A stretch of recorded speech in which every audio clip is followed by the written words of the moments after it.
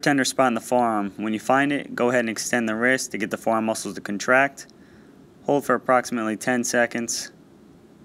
After that, go ahead and apply a little bit more pressure into that area, just into your pain tolerance. Maintain the pressure, trying to feel like that muscle relaxes. And then go ahead and repeat that cycle for up to about two minutes. You can also go through with your hand rolling the ball across the forearm just as a little massage. For the front of the forearm, go ahead and feel across the muscles, feeling for a taut band.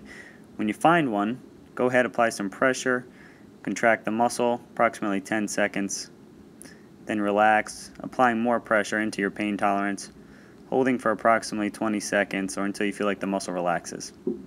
You can also go ahead, take the ball, and you can work it in there as a gentle massage, trying to get that muscle to release.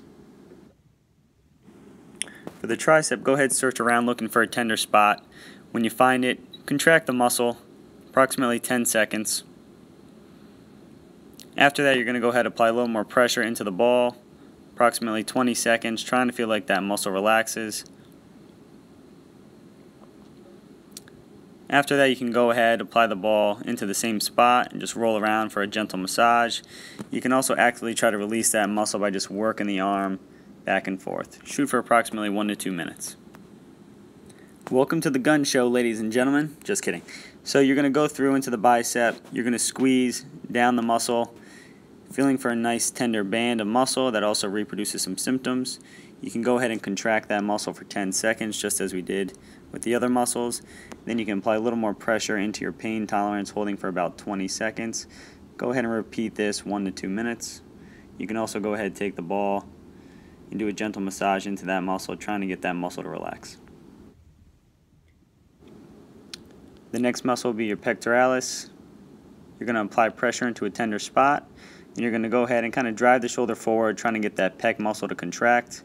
Approximately 10 seconds. After that, you're going to relax Sink that ball a little deeper into the chest, into your pain tolerance, holding for approximately 20 seconds. Go ahead and repeat this cycle, one to two minutes, trying to feel like you get that muscle relaxed. You can also gently work back and forth, trying to get a little release of that muscle as well. For the supraspinatus, you're going to set the ball up at the top of the shoulder blade, making sure on muscle, shouldn't be too bony. Then go ahead, apply some pressure into the wall, raise the arm, trying to get a contraction of that muscle for approximately 10 seconds. Then you're going to sink into that ball a little bit more, approximately 20 seconds, trying to feel like that muscle relaxes. And you'll repeat that cycle one to two minutes. You can also do a gentle massage back and forth into that muscle, trying to get it to relax. You can also use the Theracane to treat the supraspinatus. Same technique, applying pressure into the supraspinatus, raise the arm up, approximately 10 seconds, trying to get a contraction of that muscle. Then sink that cane a little bit deeper, approximately 20 seconds trying to get that muscle to relax. Go ahead and repeat that cycle one to two minutes.